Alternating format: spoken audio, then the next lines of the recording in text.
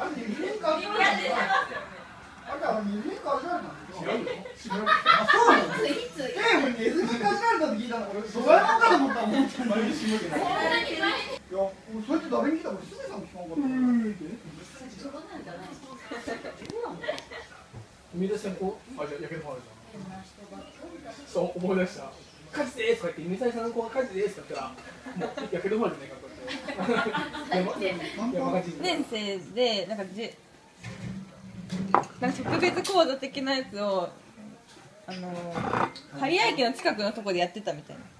講習だけどなんかそこがなくなっちゃうから学校でやんなきゃいけないってなってクーラーがついたソーラーなんこってあのさ木の椅子とかあってさ、夏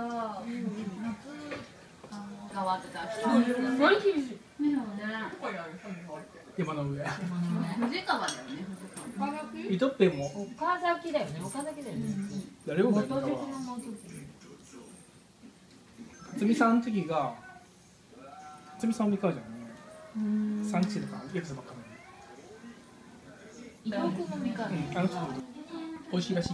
俺は食うと思うなんか地面ににひびが入ってるからタイヤ買った方がいいですよ犬はでかいってやんぼちゃんと赤犬は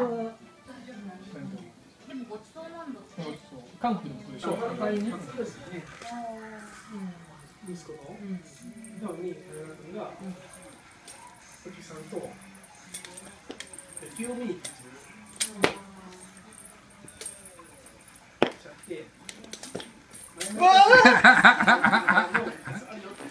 ご視聴ありがとうございました。また見に来てや。ほんまやで。チャンネル登録してくれたら嬉しいにゃ。ほな、またな。バイビー。